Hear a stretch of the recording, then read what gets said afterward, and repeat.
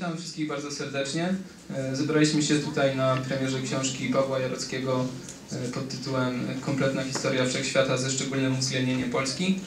Jest z nami sam autor książki, Paweł Jarocki, artysta, jeden z założycieli grupy Luxus, e, profesor akademicki na SP w Wrocławiu, także kurator BWA Awangarda we Wrocławiu oraz Kuba Wojnarowski, artysta, między innymi jeden z twórców tegorocznego pawilonu w- na Biennale w Wenecji, autor komiksowy, teoretyk komiksu, e, także kurator, e, autor projektu Orbis Pictus, w którym były przedstawiane różne e, komiksy w galeriach.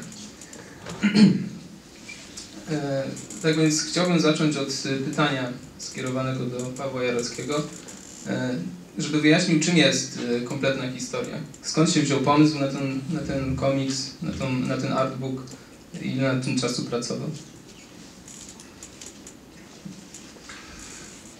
Pracowałem nad tym całe życie. To znaczy, żeby wyjaśnić jeszcze inaczej. e, To są rysunki, które powstały w różnych latach. Y, Są tam, najstarsze to są chyba rysunki z 80 roku, 81 jakoś, tak? Ale y, są też późniejsze i na potrzeby tej publikacji zostały ułożone w historię, czyli y, w jakąś narrację, czyli to nie jest żaden układ chronologiczny. To jest y, no rysunki, komiks, czy tam nie wiem jak to nazwać, nie wiem czy to jest komiks do końca, no w każdym razie jest, jest to historia narracyjna, jest to opowiad, opowiadanie przy użyciu obrazku i pewnej ilości tekstu. Y, y, Skoro już mam ten mikrofon, to chciałem jeszcze się usprawiedliwić, bo w recenzji tam ktoś napisał, że są skandaliczne błędy ortograficzne. Y, Nie zdawałem sobie z tego sprawy, dopiero mi koleżanka przed chwileczką wyjaśniła, że y, y, spojrzeć się prze, przez RZ. Nie wiedziałem o tym. Wydawało mi się, że, że skoro spoglądać, to nie wiem, no. E, Jakby tytuł sugeruje, że e, będziemy mieć do czynienia z dużym obszarem tematycznym i czasowym. W jaki sposób e, ogra- ograniczał się Pan e, tworząc ten, ten komiks, ten, tę książkę? E, Staram się nie ograniczać. E, mm, Znaczy, sam pomysł na, na tytuł y, bierze się z tego, że no, nie napisałem wielu książek, mam 56 lat. Od dzieciństwa byłem wychowany w jakimś kulcie książki i napisanie książki wydawało się po prostu no, czymś takim, co człowiek powinien zrobić, żeby wejść na jakiś parnas. Nawet próbowałem parę razy coś napisać, ale to wszystko się nie sprawdzało. Także jak stanąłem przed taką możliwością wydania czegoś, że postanowiłem, żeby to jednak było takie dzieło kompletne i opisujące wszystko. A mówiąc zupełnie poważnie, yy, gdy popatrzyłem na ten zbiór rysunków i jak powiedziałem, mam 56 lat, ale z drugiej strony w jakiejś mentalności z jakiegoś powodu nie dorosłem i, i, i jest we mnie jakaś taka mentalność trochę niedojrzała, małego chłopca, chuligana, to y, pomyślałem, że y, jest to pewien reportaż z mojej wizyty, y, że tak powiem, na tej ziemi. No. I tyle, tak, tak, tak bym to określił. Jak wyglądała selekcja obrazów, rysunków do, te, do tego komiksu? Dużo, mm, dużo Pan musiał odrzucić, dużo stworzyć nowych rzeczy teraz, czy to jakby powstawało na bieżąco i teraz było po prostu wydane? To znaczy nie robiłem praktycznie żadnych rysunków do tej książki specjalnie y, i nawet jest taka jedna z pierwszych stron tytułowych, to ona powstała y, z takim napisem Kompletna historia wszechświata ze szczególnym uwzględnieniem Polski, to, to powstało rzeczywiście od tej książki, a reszta to jest y, po prostu no, wynik jakiejś takiej manii po prostu rysowania, bo y, czasami przez, są takie okresy w życiu, że rysuję y, y, rano przy stole na jakim, w jakimś takim szkicowniku, y, jak piję kawę albo wieczorem, jak nie wiem co robić. Y, czasami są tu też takie rysunki, które mm, powstały w jakiś, że tak powiem, poza domem, ponieważ musiałem y, znaleźć jakieś uspra- usprawiedliwienie dla mojej obecności. I mm, to są dwie sytuacje, które są w tej książce. Jedna to jest taka, że w związku z tym, że pracuję na uczelni, na przykład muszę dużo czasu spędzać na posiedzeniach różnego typu rada wydziału.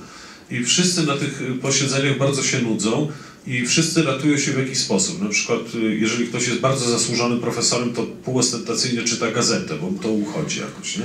No ale to nie jest dobrze widziane. I czasami ktoś tam, powiedzmy, próbuje coś przy użyciu jakiegoś tabletu pod stołem oglądać, nie? czy na komórce. Ja zacząłem rysować i to stwarzało taką sytuację, że nikt tego nie mógł zanegować, ponieważ rysowanie nie jest y, czytaniem gazety czy lekceważeniem. Ja jako pracownik Akademii Sztuk Pięknych, jeżeli rysuję, no to znaczy, że dobrze, że rysuję, że rysuję cały czas i że w ogóle to jest świetne. Także miałem takie zajęcie po prostu dla rąk i umysłu e, w czasie nudnych głosowań. Miałem też taką przygodę tutaj w Krakowie. Parę lat temu zostałem zaproszony z jakiegoś y, nie do końca jasnego dla mnie powodu na Kongres Kultury, który się tu odbywał. To była bardzo fajna, y, fajna impreza, ponieważ byliśmy wszyscy zakwaterowani w bardzo dobrych hotelach. Codziennie był obiad w holu Muzeum Narodowego, były jakieś spotkania, y, o czymś mówiono, ale do końca nie mogłem się zorientować o co chodzi i dlaczego zostałem w ogóle na to zaproszony. Jak siedziałem w takiej dużej hali, y, y, sali wykładowej i tam jakieś osoby mówiły coś, to zobaczyłem, że jedynymi osobami, które mogą się jakoś swobodnie poruszać i ma jakieś w ogóle mm, usprawiedliwienie dla swojej obecności są osoby z aparatami fotograficznymi. Łażą, robią zdjęcia i nie muszą być takie skrępowane.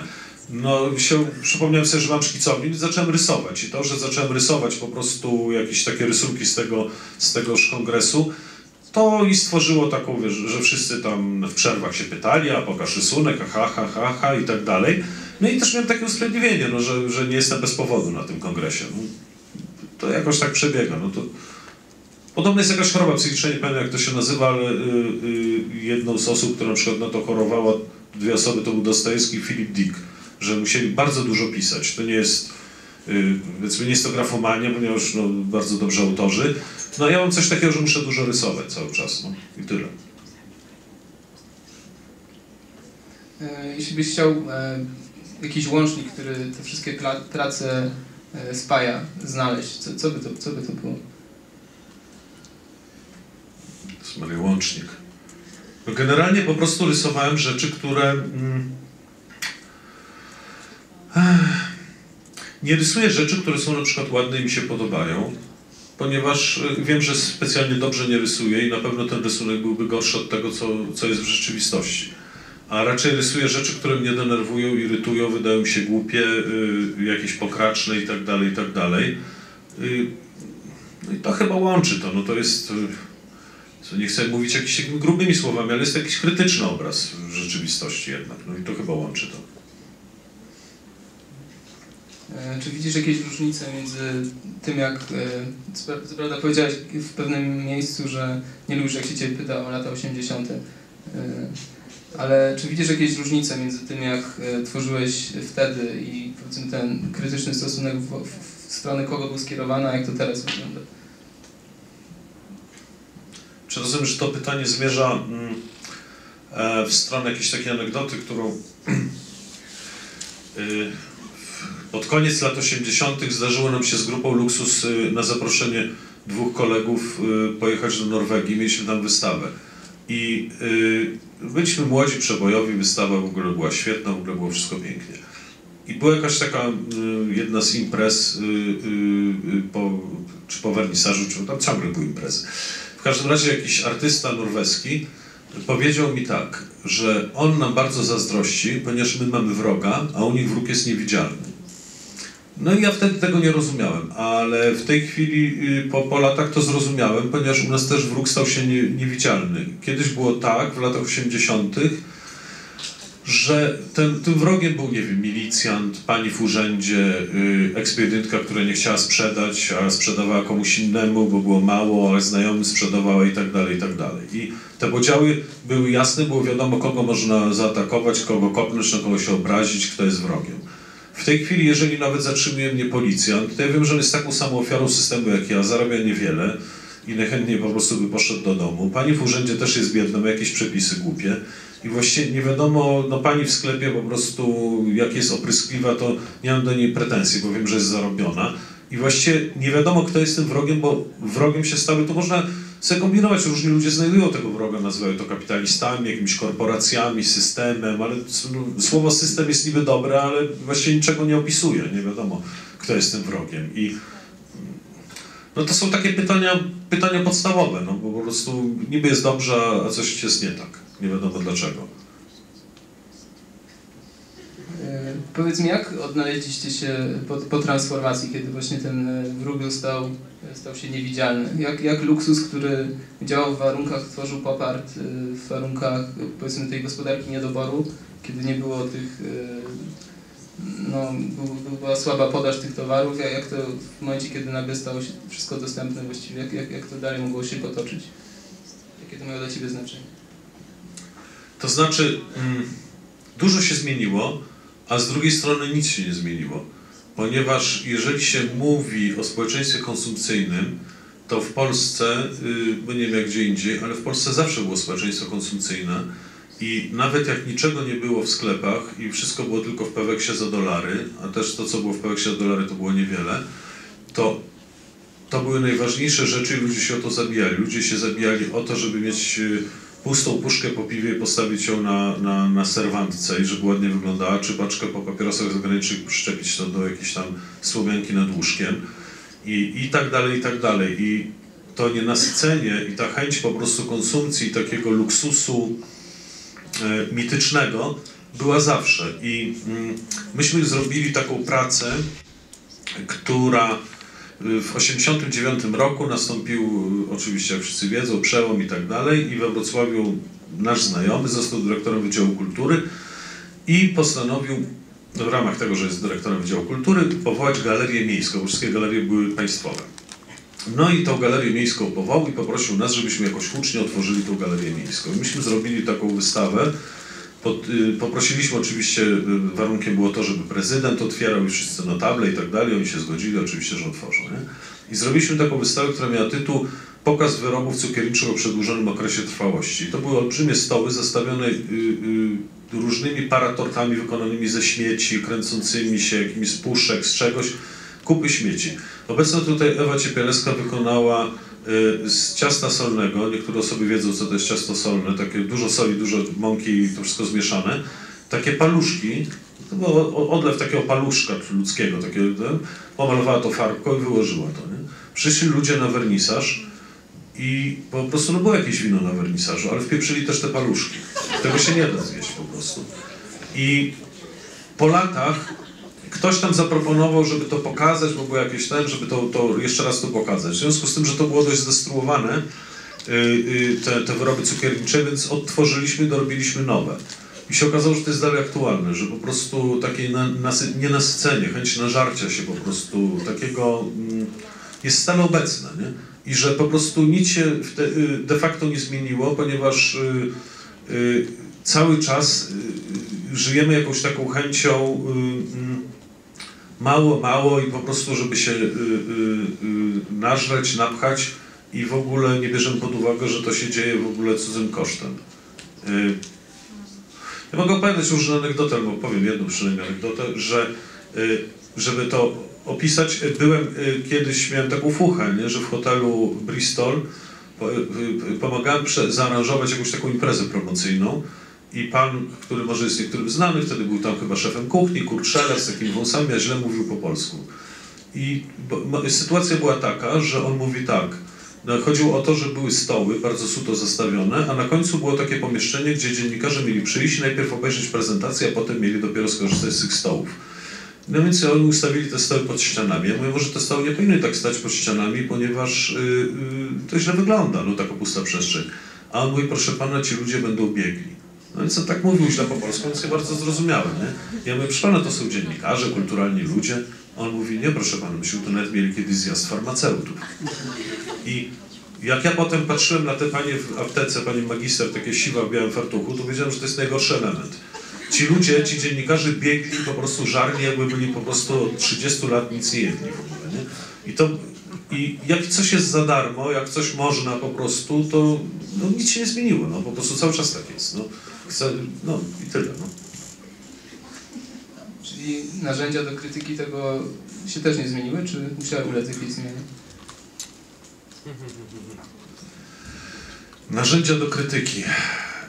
To znaczy jest tak, że y, za tak zwanej komuny y, lud, y, część ludności, bardziej świadoma, wykształcona, kulturalna i tak dalej, wiedziała, że na Zachodzie jest lepiej, a my żyjemy w pewnej fikcji. W związku z tym popierała wszelką krytykę i można było dość łatwo krytykować. Co prawda y, państwowe galerie czy jakieś instytucje tego nie aprobowały, była cenzura i tak dalej, ale w kręgach, y, że tak powiem, intelektualnych y, można było dostać, ta- y, uzyskać taki tani poklask, że tak się krytykuje system. W tej chwili bardzo dużo ludzi y, w ogóle tego nie krytykuje i jak się coś tam krytykuje, to albo, albo są takie, y, trzeba bardzo uważać, żeby się nie wpisać w jakiś taki, taką narrację, mm, y, y, że Polskę rozkradli, z jednej strony Żydzi i masoni, a z drugiej strony też jest taka narracja, że przecież jest świetnie. I w ogóle po prostu mamy autostrady, mamy coś tam, nie? I obie te narracje wydaje mi się są po prostu fałszywe, tylko po prostu teraz na pewno jest znacznie trudniej krytykować i protestować, bo ale jeżeli się człowiek nie wpisuje w tą, mówię, tą bogoojczyźnianą, tam masoni Żydzi rozkradli, narrację, a stoi gdzieś w, w, w punkcie trzecim, to po prostu mm, żadna strona go nie poprze i wszyscy uważają, że jest jakimś po prostu y, debilem, narkomanem albo czymś takim, nie? i że coś mu się w głowie poprzewracało. No. I, i, i, mm, no i tak to jest. No, to że jest trudniej. W wywiadzie, którego udzieliłeś Kubie e, w tej książce, e, padają też słowa na temat Twoich inspiracji. E, I tutaj właśnie mówiłeś też o, o, o i opowiadałeś o środowisku wrocławskim i o tym, jak Ci się tam udało dotrzeć do tych undergroundowych amerykańskich komiksów. Mógłbyś wyjaśnić, jakie znaczenie miały dla Ciebie te rzeczy? Hmm. Może zacznę od wczesnego dzieciństwa. Y, Jak myśmy byli mali, czy jak byłem mały, no to nie było w ogóle komiksów. Potem się w sprzedaży. y, Była na przykład jakaś tam myszka Miki, czy jakieś tego rodzaju rzeczy, to było raczej w telewizji się pojawiały, to były filmy. E, Były komiksy z kapitanem Żbikiem, którego nienawidziłem od dzieciństwa, uważam, że to debil był. I, y, i właśnie nic nie było. I teraz było takie pismo, y, którego autorem czy redaktorem naczelnym, czy odpowiedzialnym za, za tą szatę graficzną był Roman Cieślewicz, nazywał Ty i ja. Potem Roman Cieślewicz pojechał do Francji i stworzył pismo L na przykład. Bardzo, bardzo ważna postać. I, y, I tam były różne rzeczy. To było takie niby pismo dla inteligentnych o modzie, o czymś. I nagle tam zobaczyłem po prostu duży zestaw rysunków Roberta Krampa. I zobaczyłem, że to jest po prostu i zabawne, i dowcipne, i pokazuje jakąś taką zupełnie inną rzeczywistość. I ta rewolucja w ogóle takiego undergroundowego komiksu no była na świecie na tyle istotna, że zaczęła przeciekać do Polski i w piśmie szpilki zaczęło się pojawiać dość dużo komiksów. I na przykład w tym, wtedy bardzo nośnym rysownikiem był Andrzej Mleczko. I rzeczywiście robił bardzo fajne komiksy, one były śmieszne, zabawne, dowcipne, opisywały jakoś tą rzeczywistość w miarę tego, co ta cenzura dopuszczała. No a potem się pojawiły, y, zaczęli różni znajomi przywozić z zagranicy różne komiksy. No i teraz tak, w związku z tym, że już trochę urosłem, więc ta, ta myszka Miki wydawała mi się może nie aż tak atrakcyjna. Te komiksy różne dla dzieci, jakkolwiek myszkę Miki kocham mm, cały czas, to mm, po- pojawiły się no, interesujące, wydawały nam się komiksy y, właśnie te undergroundowe amerykańskie, na przykład taki Gilbert Shelton, czy właśnie Cramp i tak dalej. I, y, no i to jakoś tam, jakoś tam to, było, to była ta inspiracja, ale to, to też się brało z tego, że na przykład, nie wiem, no, y, muzyki się dużo słuchało, to się pojawiało też na okładkach płyt. No, jest taka a, a, a, płyta Janis Joplin, y, y, Big Brother and the Holding Company, taki zespół jej towarzyszył i, i tam Kramp narysował komiks, który taką okładkę, gdzie właściwie każdy rysunek opisuje jedną piosenkę na, na tym. To jest tak lapidarnym językiem, tak dowcipny i tak inteligentny, że po prostu to jest porażające. No. Z drugiej strony też było na przykład takie pismo, które było jakąś też dziurą na świat, y, y, y, literaturę na świecie, którą wszyscy inteligentnie czytali, trudno było dostać. Tam na przykład się pojawił Dino Buzzati. I no się okazało, że ten obraz y, z tekstem opisuje bardzo y, znacznie lepiej rzeczywistość i jest bardziej taki nośny niż y, długie opisy przyrody w chłopach, na przykład Raymonta. No, no tak. Czyli mówisz, że poznałeś e, amerykański underground przez szpilki. Głównie. Znaczy może mniej przed szpilką, w tych szpilkach tego dużo nie, w tych szpilkach dużo nie było, no mówię, w tych ja było, a potem to już zaczęli po prostu znajomi przywozić. Tego rzeczywiście w pewnym momencie bardzo dużo było i to, to się, i, i przywozili same komiksy, jakieś pisma muzyczne, w których te komiksy były, bo to z tą kontrkulturą ten komiks był bardzo, bardzo związany i, i, i mm, cała ta rewolucja, która się toczyła w latach 60., 70., było na przykład takie pismo też High Time na przykład, y, co się tłumaczy na najwyższy czas, ale nie ma nic wspólnego z polskim pismem najwyższy czas. E, No to też tam właśnie były komiksy, były tego rodzaju rysunki i takie, mm, taka dyskusja, która w pewnym momencie się pojawiła w Polsce, jak się pojawiło, więcej komiksów w Polsce, że to jest jakoś, nie dla dzieci, dla debili, dla kogoś, kto nie umie czytać i tak dalej, no to wydawało mi się absurdalne po prostu, bo, bo to było znacznie bardziej nośne i inteligentne niż wiele innych rzeczy. Tak pytam, bo w szpilkach ci autorzy jakby widać mo- mocno się inspirowali też amerykańskim undergroundem. Tam były numery, które były poświęcone jakby tym, tym autorom, jak Kra- Crambowi i tak dalej. I jakby u Mleczki też mocno widać nie? Te, te wpływy. Mm. E, powiedz mi, bo ty jesteś jakby osobą, która jest jednocześnie działa zarówno jako autor komiksów, jak i człowiek za- zajmujący się sztuką. E, Jak, jak widzisz związki między, relacje między tymi dwoma światami? Czy e, dla Ciebie to jest jakby takie płynne, bo jakby są różne kontrowersje z tym związane? Znaczy z jednej strony tych kontrowersji nie powinno być, tym bardziej jeżeli powiedzmy, nie wiem, taki Banksy, czy, czy powiedzmy jakieś takie różne rzeczy ze street artu przeszły do świata galeryjnego sztuki, nie? I, i, I właściwie tu już nie ma teoretycznie o czym dyskutować, ale oczywiście cały czas y, ludzie dyskutują. No, y, y, w Polsce jest przede wszystkim taka tendencja, że sztuka musi być bardzo poważna. Nie może się ocierać o żadną śmieszność, o dowcip, o, o cokolwiek, ponieważ artysta musi nieść jakieś idee narodowe i w ogóle coś poważnego poruszać. Nie?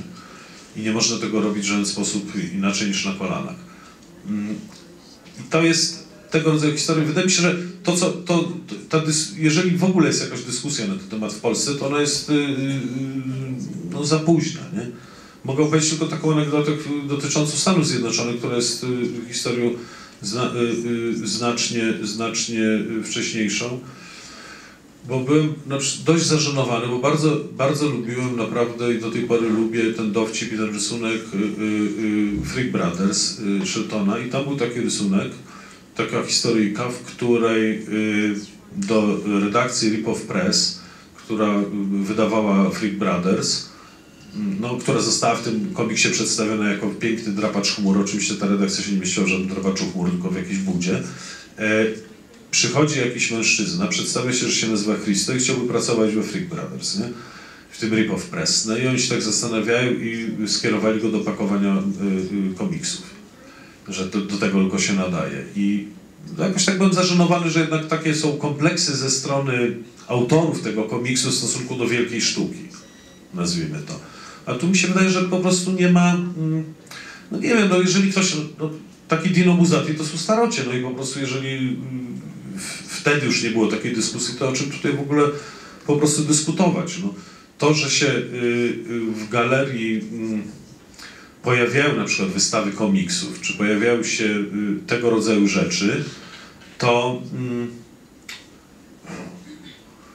to nie jest nic dziwnego. Jeżeli komuś się to nie podoba, to niech sobie idzie gdzie indziej po prostu. Ja to, to tak określił wręcz, nie? Y, Jakiś czas temu na przykład y, w BWA mieliśmy wystawę y, poświęconą, mm, czy część wystawy poświęconą kulturze jeżdżenia na desce. No nie umiem jeździć na desce, z tego się przewracam, no ale to jest bardzo ważna część kultury. I, i, I w dużej witrynie po prostu y, pewien rzeźbiarz wykonał taki bowl do jeżdżenia i przychodzili młodzi ludzie, jeździli na deskach i tak dalej. Nie? I jeżeli to nie był balet, jeżeli to nie był performance, jeżeli to nie było dzieło sztuki, to nie wiem, co jest dziełem sztuki bardziej żywym i bardziej zaskakującym i bardziej inspirującym.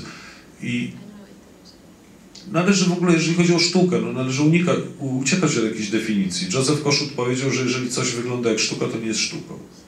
I, i tyle. No i po prostu dlatego, dlaczego komiks nie może być y, sztuką? No, to jest, są różne komiksy, no tak samo jak, nie wiem, no trudno powiedzieć, że każda melodia czy każdy utwór muzyczny jest muzyką poważną i, i, i wartą słuchania. No, są różne komiksy, są różne po prostu utwory muzyczne i tyle.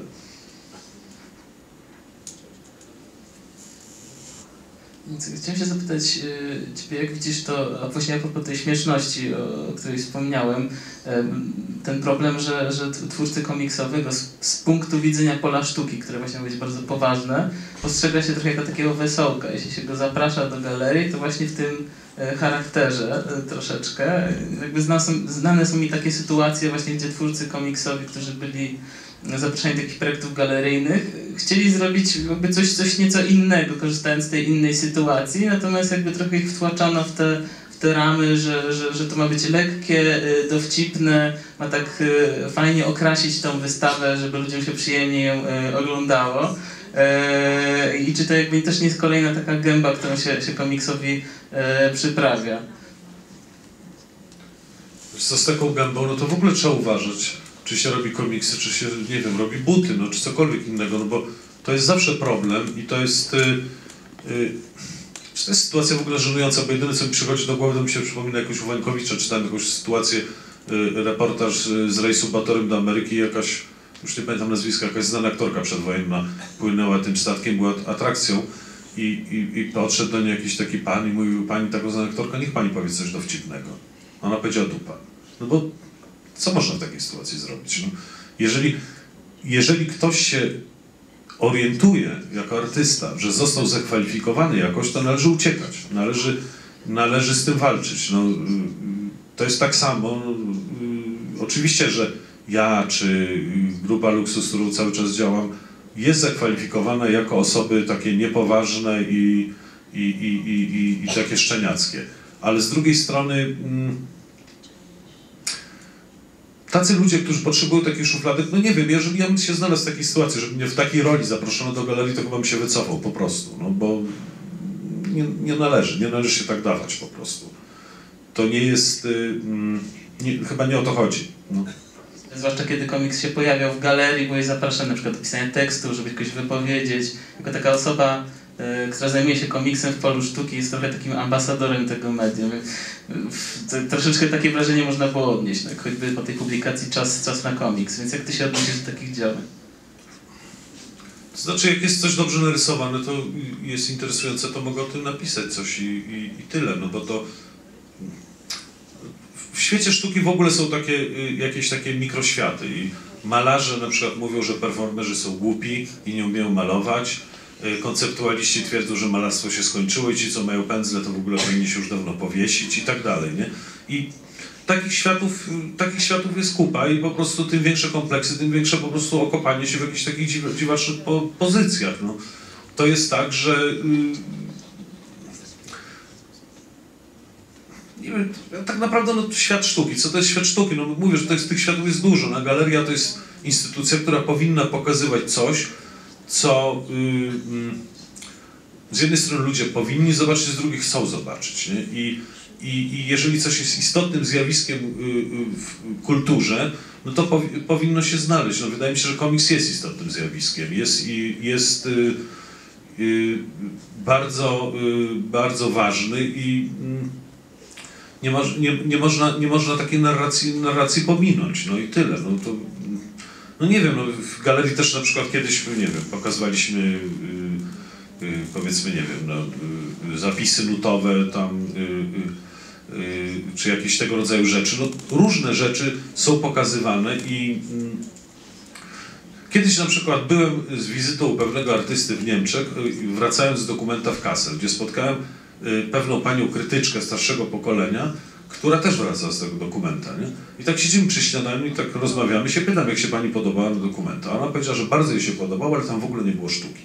No to w ogóle nie wiedziałem, o czym, jak z nią rozmawiać, no bo to po prostu, to w takim razie co?